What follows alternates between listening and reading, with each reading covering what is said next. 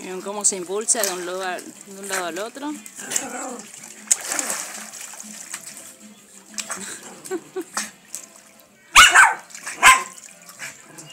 Ahí va el impulso.